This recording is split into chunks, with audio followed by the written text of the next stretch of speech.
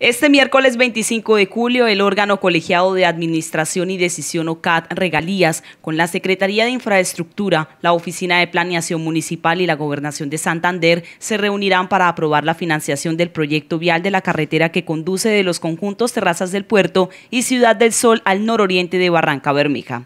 Bueno, la Secretaría de Infraestructura, en cabeza del ingeniero Gerson González, eh, inicialmente se contrataron unos estudios para dos vías ya se hicieron los presupuestos. Esas vías son una la que va desde donde se terminó en el barrio Los Laureles hasta, hasta el campo 23, pero el proyecto nada más lleva 5 kilómetros. Es un proyecto que está del orden de los 12 mil millones de pesos.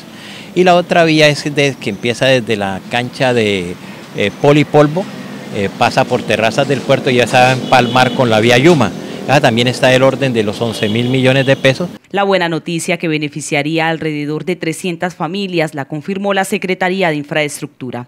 Eh, se está presentando, el ingeniero Gerson González precisamente va a viajar a la ciudad de Bucaramanga a presentar al Sistema General de Regalías para obtener esos recursos y poder contratar la ejecución de esas obras. Alrededor de 10 mil millones de pesos serían invertidos en este proyecto vial a ejecutarse en la Comuna 7 del municipio. Pues estamos esperando ya, ya la aprobación de ese recurso eh, mañana se hace la sustentación, se somete a votación y después de que se tenga ya ese recurso, se hará todo el proceso de ley, de licitación, que consideramos más o menos un término de dos meses, pero ahí se está trabajando y se está llevando, va por buen camino ese proyecto y la idea es ejecutarlo en, esta, esta evidencia. De darse el voto positivo, la iniciativa que ya cuenta con los diseños y el visto bueno de la Gobernación de Santander y el Departamento Nacional de Planeación arrancaría con la fase de licitación en 20 días aproximadamente. 2020.